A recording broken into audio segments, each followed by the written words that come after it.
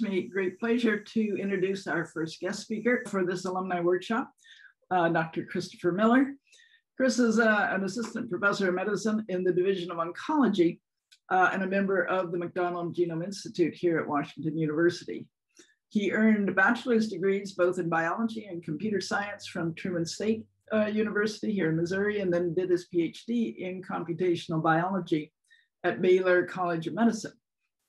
Then he came uh, up to, to WashU in 2011 uh, and became the cancer analysis group leader, uh, as well as uh, his position in the Department of Medicine. So Chris's focus has been on developing and applying computational tools to provide insight into the origins and progression of cancer, in particular looking at the clonal architecture of tumors and how they evolve in response to therapy. Uh, he's made a number of important contributions to the open source software that's available uh, for people to do this interpretation and visualization of genomic data for this purpose. And um, to me, it's really uh, both enlightening and important to get a chance to see Chris's perspective on genomics. Um, I don't know about the rest of you, but I uh, have many students in uh, my um, GEP course who are interested in health sciences. Uh, and listening to Dr. Miller, they learn that genomics is really uh, essential to the practice uh, of good medicine, particularly when it comes to cancer. I think of cancer as a genetic disease of somatic cells, which sounds a little bit contradictory, but uh, wait till you've heard Chris's lecture and that'll become clearer. And I think it is very useful for the students to see uh, how the uh, tools of genomics and how this uh, approach is really making a difference in medicine. It really helps them see uh, a broader perspective uh, to what we're doing. The topic, of course, also lends itself to thinking about variant calling uh, and has some links there to curriculum that Abby Harris has been developing for some of her students. Uh, so there are a lot of connections here to the field. Uh, it's also fascinating just to see the progress that's been made. So without taking any more time, let me turn it over to Chris. All right, thank you. Um, certainly I would like this to be as interactive as possible. So, um, you know, you all have suffered through uh, most of a year of teaching a lot of Zoom courses, I imagine. So please hop in with your questions um, either here. I'll try to have the chat box up, or I think Wilson's going to monitor it as well and, and let me know if there are any uh, pressing questions. And without uh, any more chat about that, let's get rolling.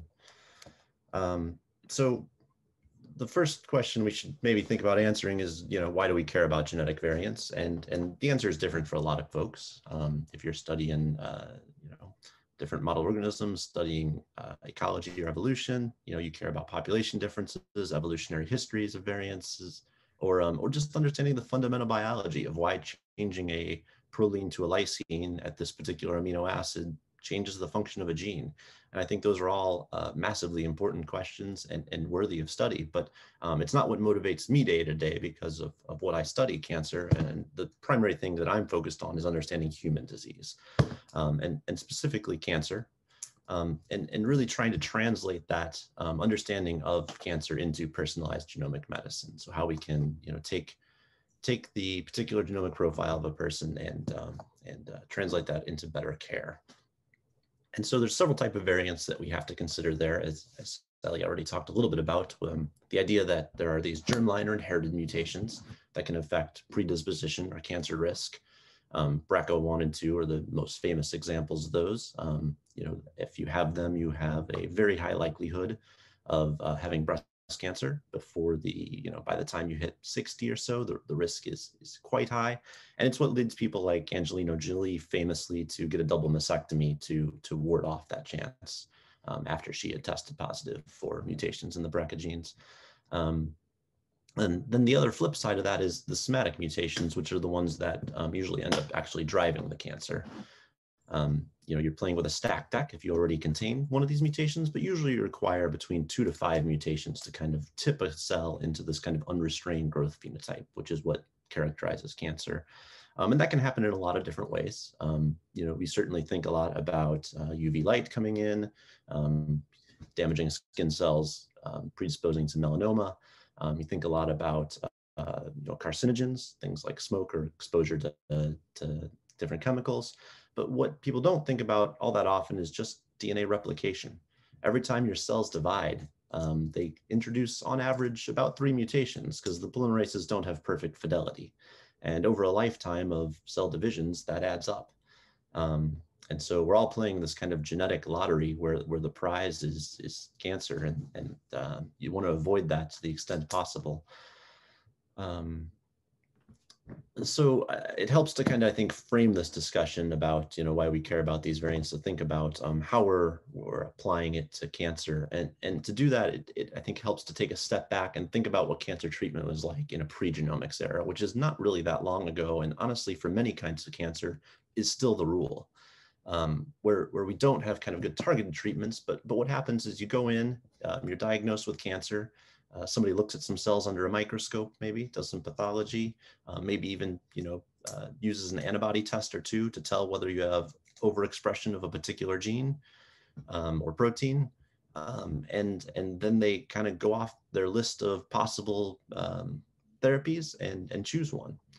Now, uh, you know these treatments aren't um, aren't particularly pleasant. You know, most of them are chemotherapy or radiation, which are killing lots of cells. It's just that they kill the cancer cells a little bit faster than the rest of them in theory.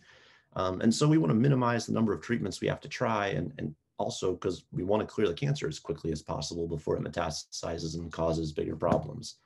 Um, so the typical uh, process is you choose a treatment, you try it out, see if it works. Um, if they don't respond to that in a month or two, you try another treatment and so on. You go down the line.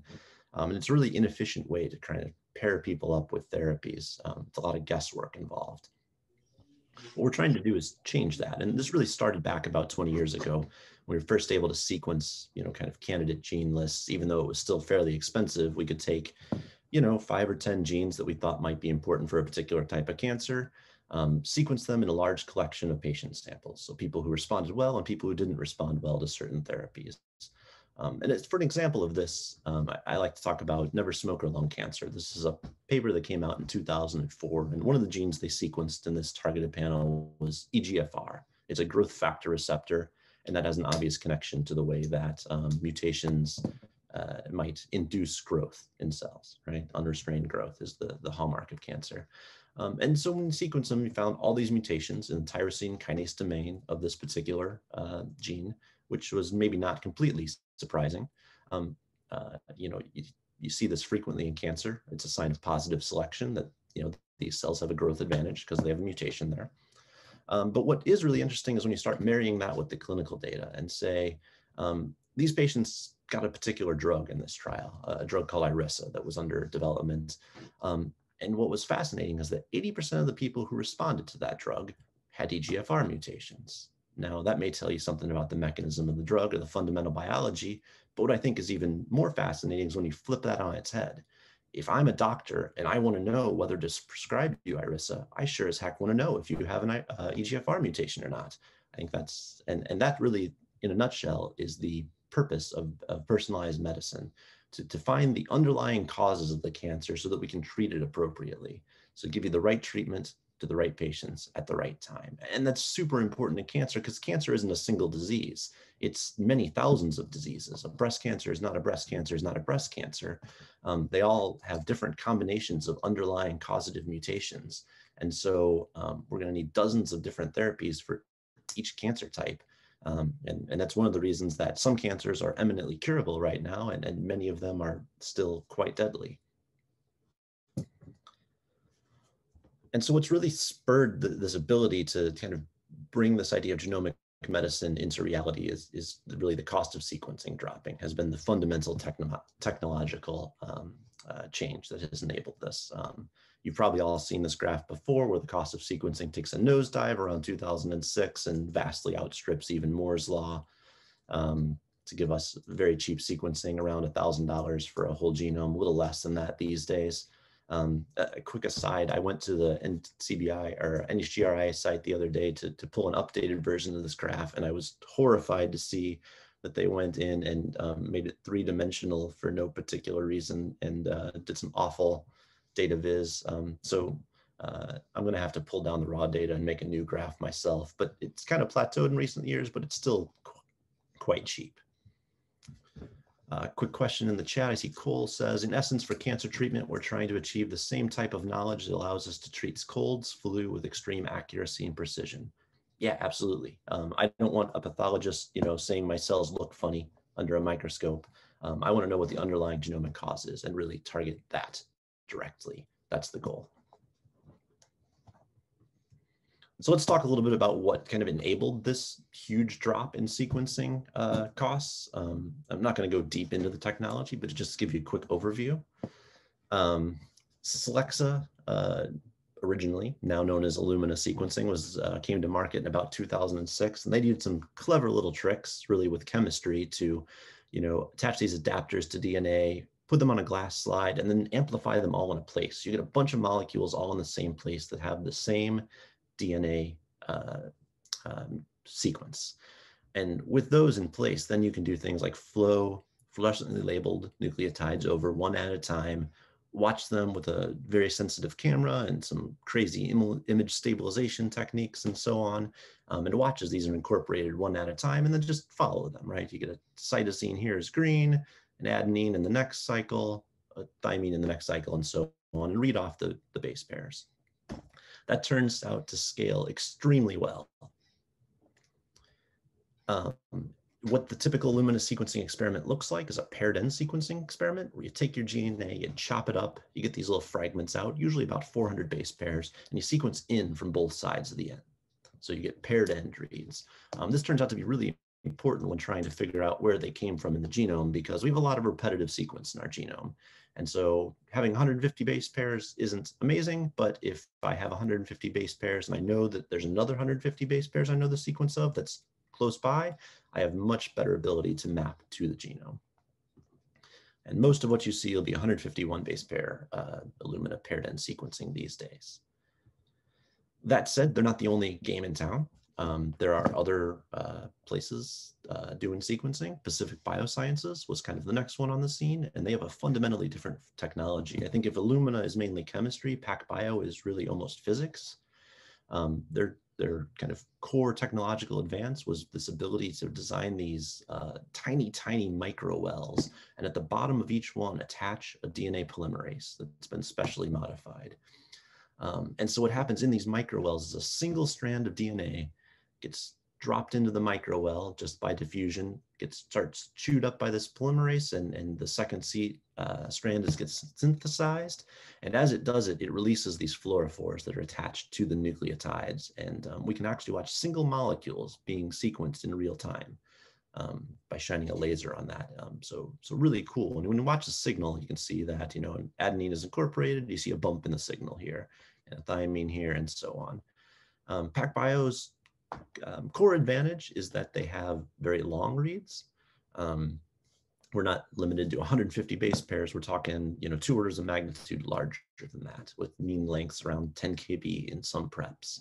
Um, and, and reads, you know, uh, this is a little bit outdated, over 100 kilobases. So, so massively longer. And, and, this turns out to be really important in some contexts. You know, it's, it's more expensive and it's got a much higher base error rate per base, but the fact that you're getting so many bases makes it amazing for kind of scaffolding, where you kind of uh, do uh, de novo assemblies, um, and you know you want to kind of get the lay of the land and then fill in the gaps with Illumina or fill in the exact base pair sequences is, is a common kind of paradigm. Um, also important for uh, finding structural variants, which can be very hard to map with short reads, um, especially if they ends fall into repetitive sequences and such.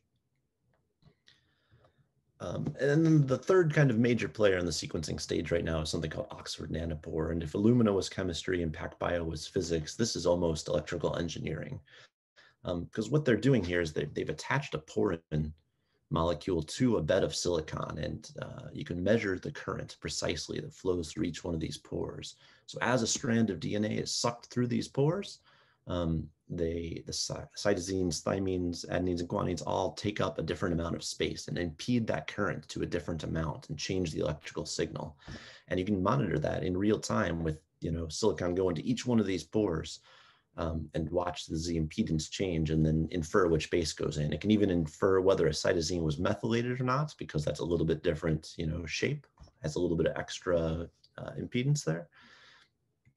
And so um, these are super portable. Um, they, this is a little stick about the size of a pack of big chewing gum.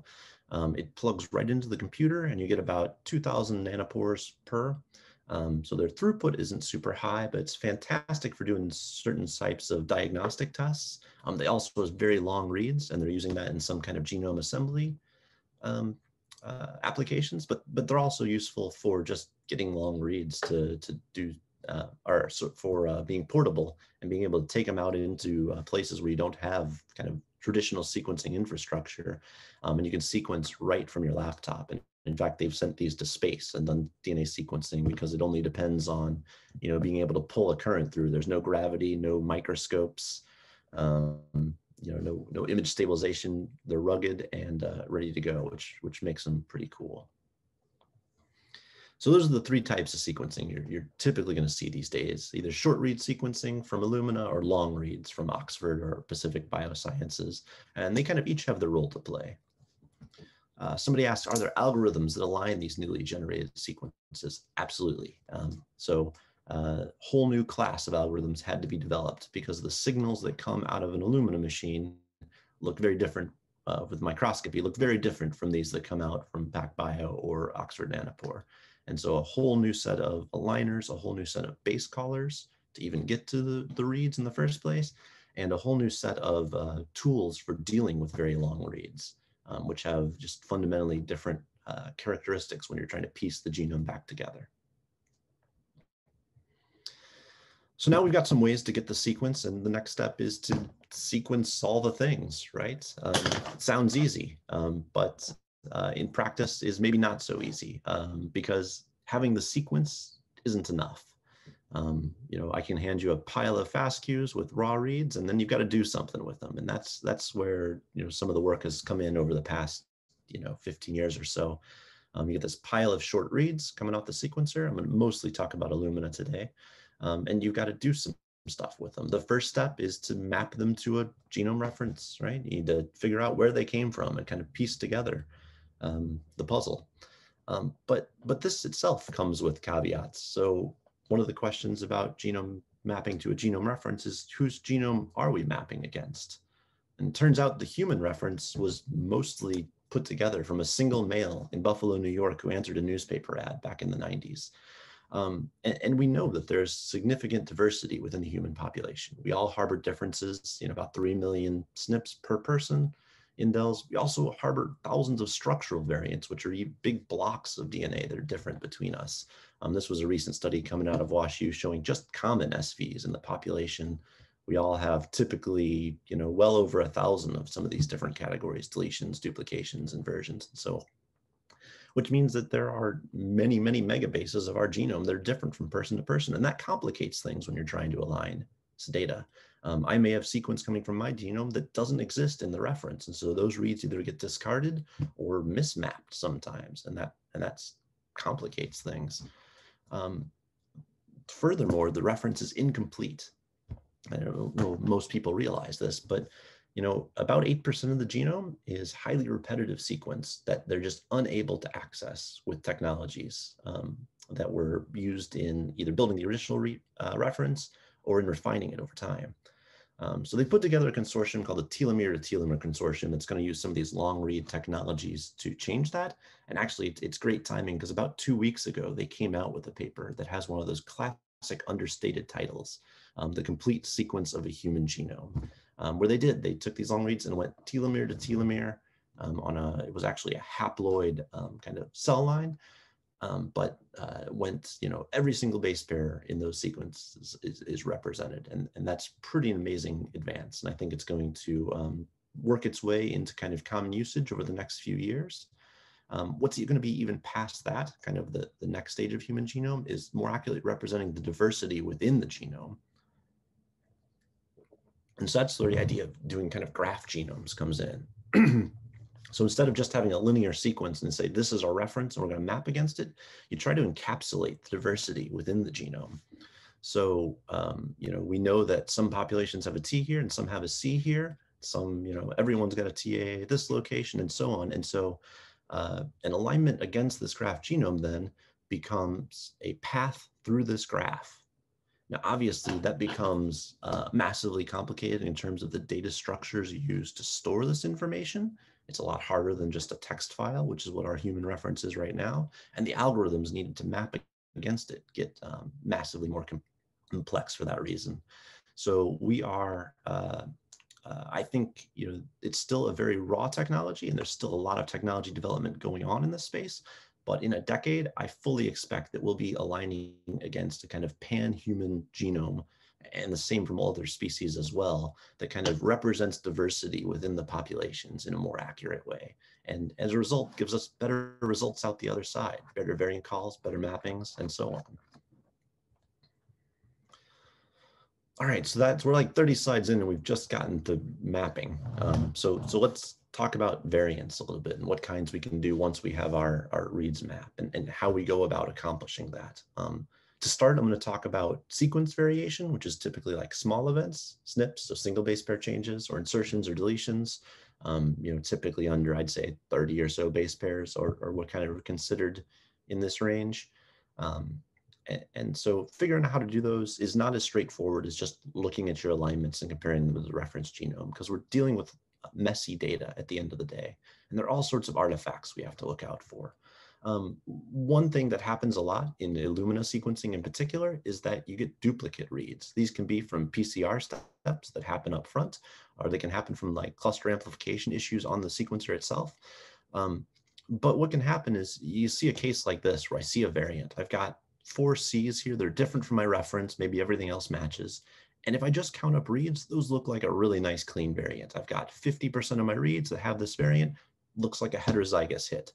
Um, but if you do closer and do your deduplication and kind of clean up what looks like a PCR error, because each of these reads is exactly identical, which is fairly unlikely in a standard sequencing experiment, you see that I've only got one base left. And so you know, that looks a lot more like maybe a random error than, than a true variant. And so the stats behind doing some of this stuff are, are quite involved and quite important because sequencing errors are quite difficult. This is more examples of kind of a clean variant. So we've got a reference genome here. Each of these gray bars is reads. They're aligned against it in the IGV viewer.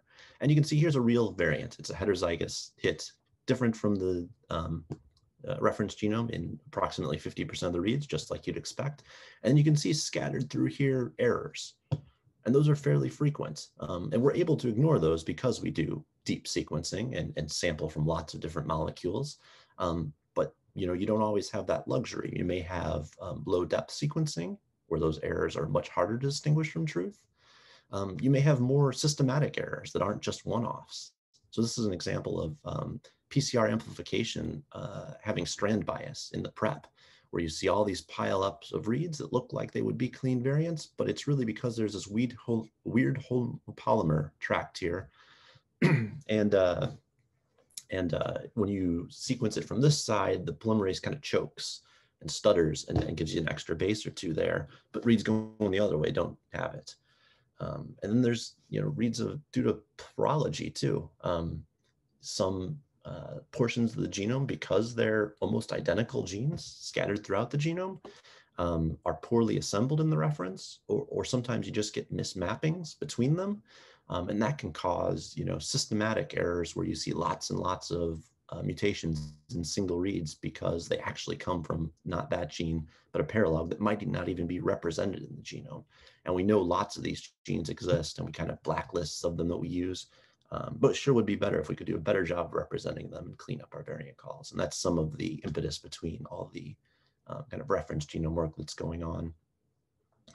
So, so variant calling is a complex process. And anybody who tells you that it's a solved problem has probably never tried to actually call variants and get down in the weeds. Um, that said, we're getting pretty good at it. You know, there's some pretty good tools out there these days. Um, but but their goals are are to you know sensitively detect mutations at the end of the day, but perhaps even more importantly is to precisely detect mutations. So we've got all these different error models. We just talked about a few of them. Um, and, and we need to deal with those appropriately and not call false positives when they occur. And, and the FDR has to be astonishingly low. So the false discovery rate of only 0.001 when you're querying 3.2 billion bases gives you 3.2 million false positives. You know, we'd all be happy with this in most of our experiments, but it just doesn't cut it when you're doing this kind of scale.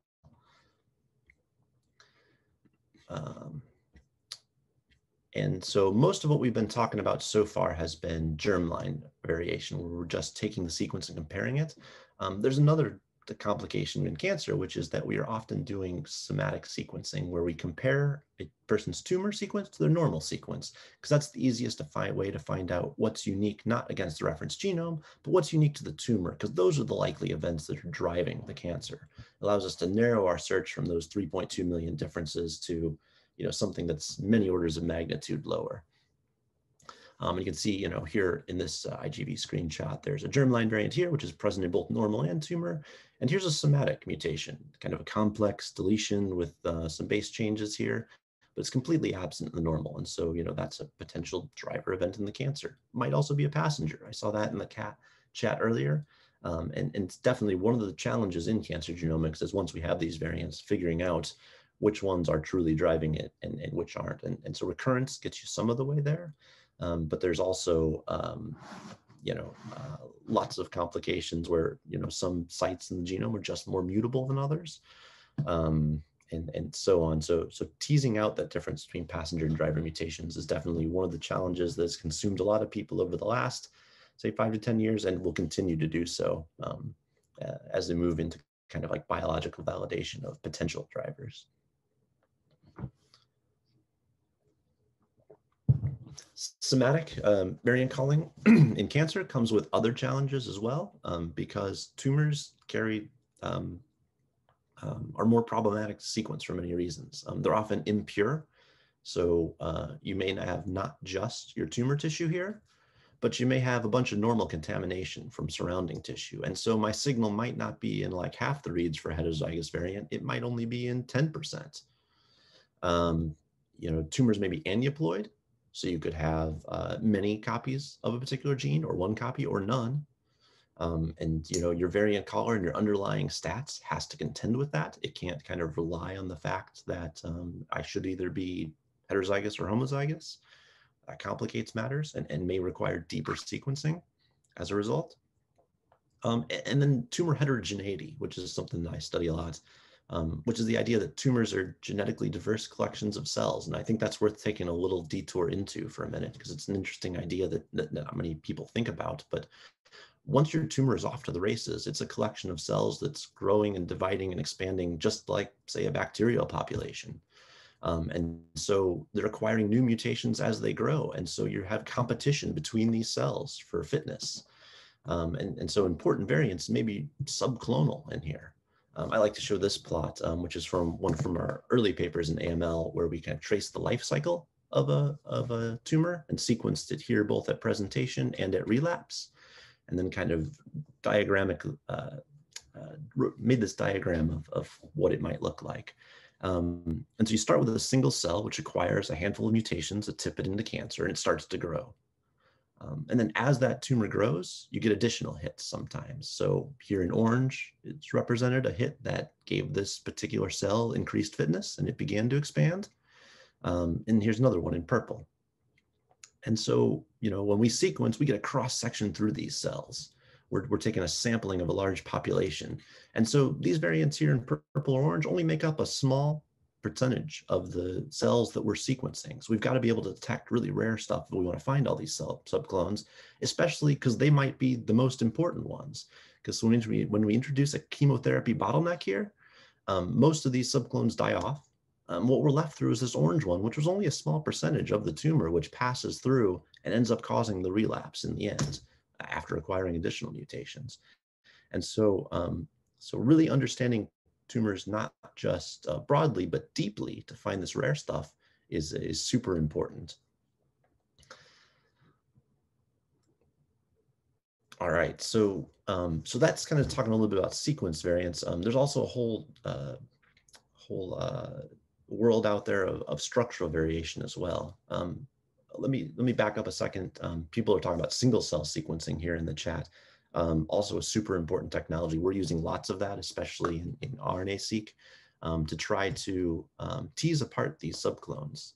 Um, so it's it's cool that we can you know genomically sequence and find out that there are different populations, but presumably these populations have different expression patterns too, right? These mutations are, um, you know, uh, this change isn't manifesting itself at the mutational level. It's causing rewired you know, responses to either chemotherapy or to growth factor signals or whatever else. And understanding those at the expression or even the proteomics level at some point, uh, we may get there as that technology matures, um, is going to be really important for understanding why this really rare population of cells manages to, to squeak through and to understanding how we can find and recognize these at diagnosis and maybe treat them before the relapse and, and make sure we eliminate all the subclones. So yeah, single cell is, is a cool technology that we're thinking a lot about these days. Um, as far as types of genetic variation, so we talked about kind of the small stuff and how you detect those. Uh, structural variation is another big one, um, you know, where we're talking about um, often very large events, you know, whole genes being moved around, inserted, deleted, translocated, broken. Um, and, uh, and, and cancer is an example where things can get pretty messy. Um, this is from a paper I worked on back in grad school, um, where we sequenced a MCF7 cell line, it's a breast cancer cell line, and uh, made this pretty circos plot where each one of these lines connecting two chromosomes represents a breakpoint where part of chromosome 1 is fused to part of chromosome 17 or to part of chromosome 9. So this genome has just been absolutely shattered and, and reassembled, um, and, and yet it's still alive and still kicking. Um, and so um, trying to understand how to deal with that and, and understand the kind of effects that that kind of large scale structural variation can have is, is challenging. And that's one of the places where this long read sequencing is really helping too. Um, more simple, you know, kind of things that we've known about for a long time, uh, examples of structural variation in against cancer. Uh, probably the canonical example is the BCR ABL fusion in uh, CML, um, where the BCR gene and ABL gene gets um, stuck together and essentially the promoter of one gets stuck to the body of the other. And so you get altered expression and, and that's, you know, is, is uh, strong enough signal to pretty much on its own, one of the few events that can kind of pretty much tip a cell into cancer without other cooperating mutations. It's cool stuff. Um, and, and it's treatable because it's a kind of a simple event. And, and uh, these are the minority in cancer though yeah, it's a classic example of a molecular inhibitor. Gleevec, right, is the is the drug that famously can treat this kind of cancer and, and has a very high success rate. Um, that's still rare, um, but and you know this was possible because this translocation is visible on a cytogenetic level. Um, I have some slides I don't have with me today about kind of smaller events um, that that occur, you know, even in these kinds of well understood uh, uh, cytogenetic abnormalities can happen on a much smaller scale, where maybe we don't translocate this whole chromosome arm, but we only take a small chunk of it out containing the ABL gene and it gets like inserted over by BCR that wouldn't be visible on kind of a gross scale under a cytogenetic uh, spread. And so um, um, being able to detect those is one of the places where uh, sequencing really excels because we can get, you know, base pair resolution of what's going on. And and, you know, I don't think cytogenetics honestly is long for this world. Um, underneath all of this, obviously, is a massive kind of informatics challenge, and that's where I spend a lot of my time. Um, and and uh, it pains me a little bit to only give this one slide because it's such a rich and complicated area, um, but but it's important, um, not just in you know kind of the uh, you know, kind of managing a computational cluster and uh, creating pipelines that can automate these complex tasks, which is super important for reproducibility of our research. Um, but just things like, uh, you know, uh, what do we do with these variants after we find them, right? How do we determine that they're in a gene? How do we choose which transcript to assign a particular variant to? Which databases are we going to pull in to annotate our and find out whether this is common or rare in our population of interest? Um, all of these take a, a, huge amount of kind of scripting and coding chops. Um, it's an incredible area of growth. Um, you know, anybody who goes into bioinformatics is not going to be hurting for a job among your students. Um, and I think uh, forward-looking institutions, even in kind of primarily undergraduate uh, institutions, you know, are working to kind of synthesize lessons across kind of the computational biology, uh, computational side and the biology side and offering things like mathematical biology programs or seminar series. Um, uh, so it's definitely something to keep in mind. Not going to get too far into it today, but happy to answer questions about it. So all of this, you know, this ability to map reads um, and call variants efficiently um, it really led us into kind of the discovery phase of cancer genomics, which I think has been happening over the past 10 years or so. I, I kind of think of TCGA, the Cancer Genome Atlas Project, as kicking this off, um, where they sequenced, you know, over the course of about a decade, sequenced about 10,000 cancers um, and helped really push the technology forward, but also created a massive database of cancer mutations that, that um, allowed for, you know, not finding all the answers, but for you know generating hypotheses is how I think of a lot of this research. Um, and I showed this uh, slide from our uh, um, TCGA paper on AML that came out in, in 2013, um, where, you know, if you look across this pattern, all we did was take the frequently mutated genes and kind of stack them up according to recurrence and, and kind of group them according to some functional significance. And, and just looking at this picture, um, you get so many kind of uh, questions and answers out of it. So it's immediately apparent that all of these transcription factor fusions are completely mutually exclusive. If you have one of them, you don't need the others, right? Um, so that, that tells you something about maybe overlapping function. The same can be said for NRAS and KRAS down here at the bottom. They never co-occur. Um, other other interesting hypotheses, you know, the FLT3 gene almost always co-occurs with DNMT3A. Why is that? You know, that's something we're still trying to untangle, you know, 10 years later.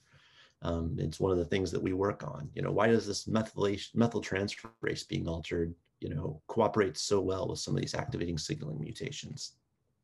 You know, why is epigenetic modification so common? What exactly is altering the histone uh, structure or, or uh, histone marks doing to these genomes that allows them to kind of take off into understrain growth. Um, so, so it's a fascinating um, exercise to dig into this data.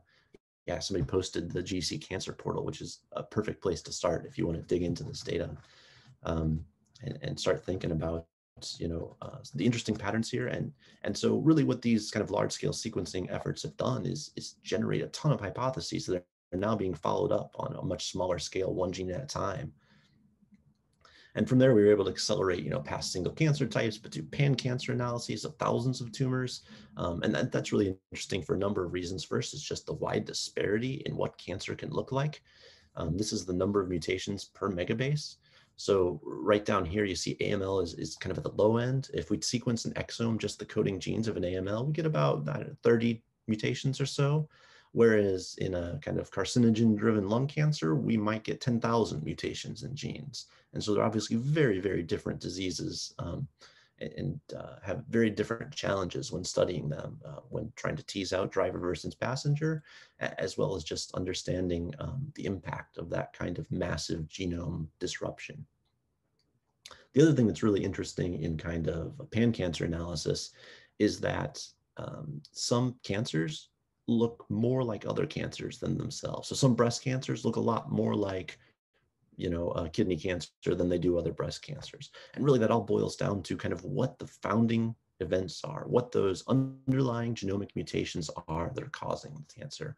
And so that's really led the FDA to change their thinking too from one where they approved drugs on kind of a per cancer basis to say, you know, this is a breast cancer drug or this is a kidney cancer drug, but to really say, you know, this is a drug that treats uh, cancers that have this particular mutation or have this particular overexpression of this gene or so on.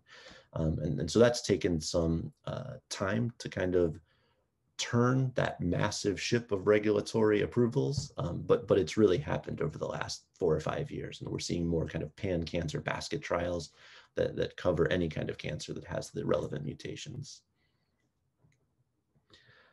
and so where this is all really leading is is the idea that you know to to truly diagnose cancer and and understand it well, we have to um, uh, you know sequence people, uh, their genomes, their exomes, and understand their expression patterns too.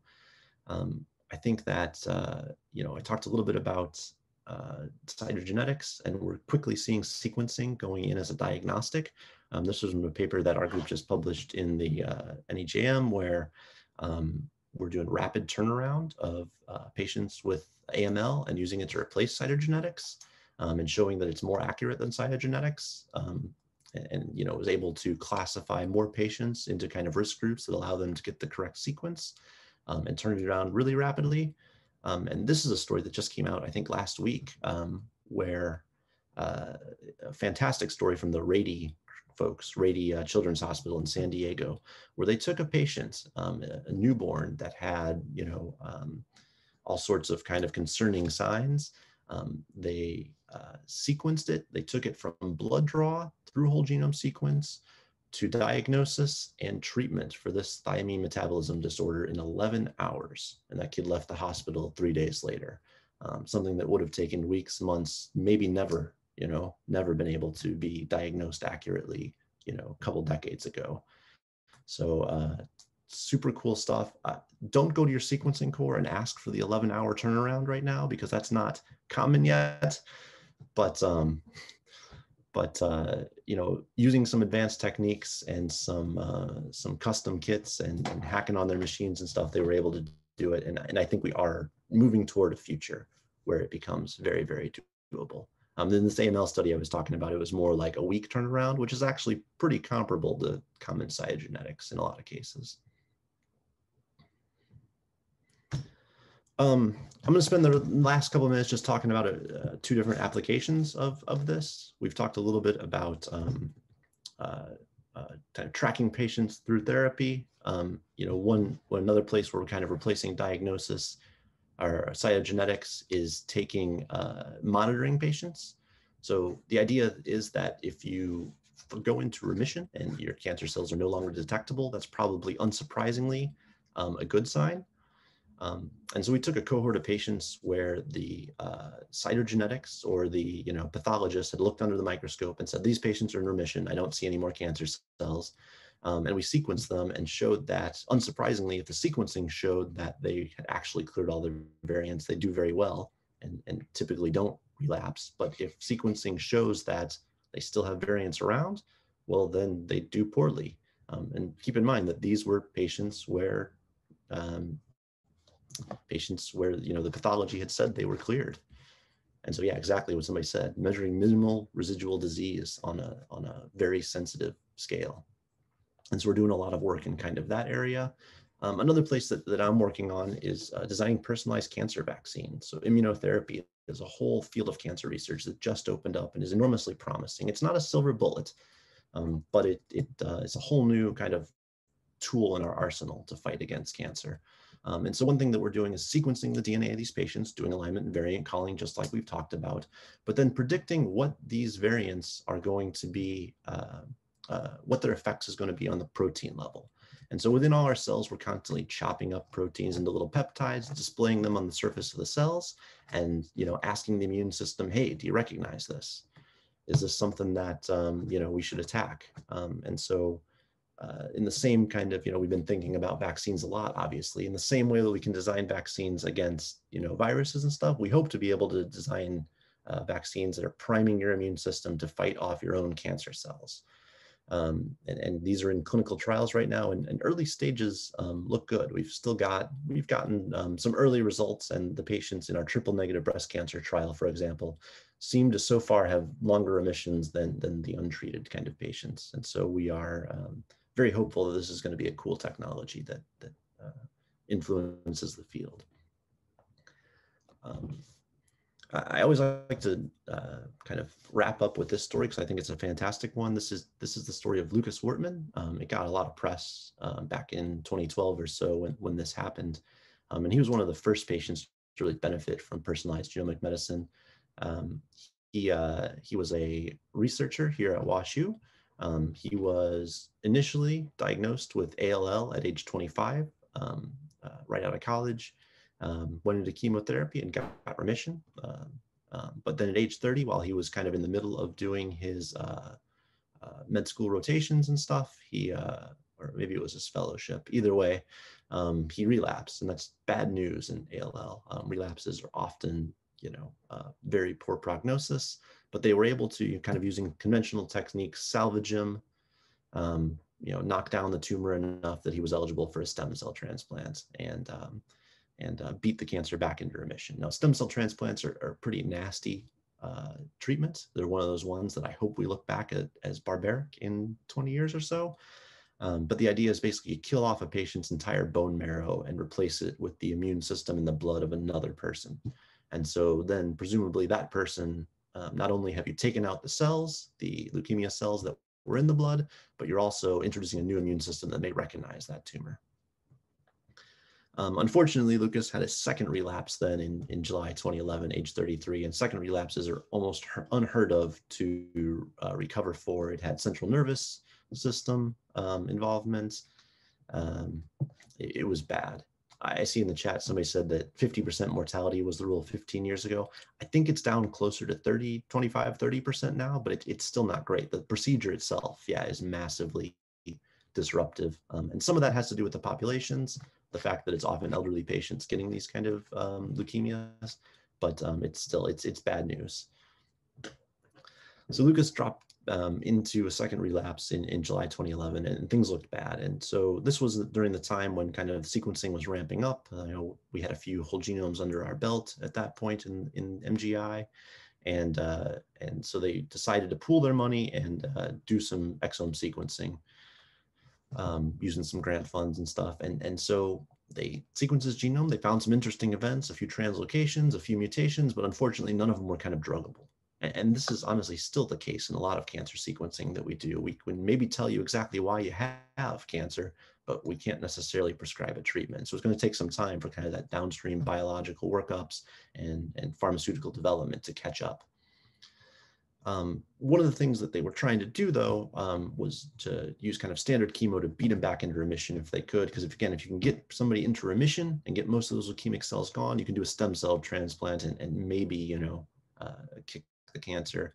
But if they still have massive amounts of tumor in their blood, it's just not going to work, is what experience tells them. And so one of the things they did is they used um, the, the knowledge from this whole genome about some of these genomic translocations to design very specific FISH probes that could monitor his disease um, in a way that wasn't possible from kind of standard cytogenetics. And they found out that, you know, he wasn't really in remission yet. Some of his blasts had cleared, but one of the deletions was gone, but the kind of major one was still hanging around.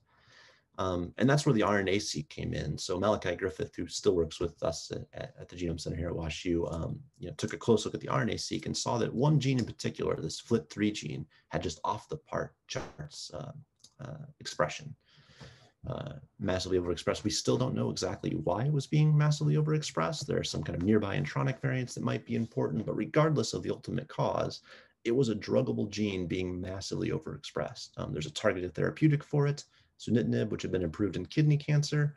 Um, and, uh, and, you know, even though they weren't able to get insurance to approve it initially, they pulled together the, I don't even know, $100,000 or whatever they had to, to do to get it and got him some doses of this. And the, uh, and the effect was uh, incredible. It cleared his tumor basically completely. Um, and they were able to, you know, give him a second stem cell transplant and um, kick him back into relapse. And and so far he's been in remission. Um, it uh, so 12 days kicked him down into remission. He got a stem cell transplant that September.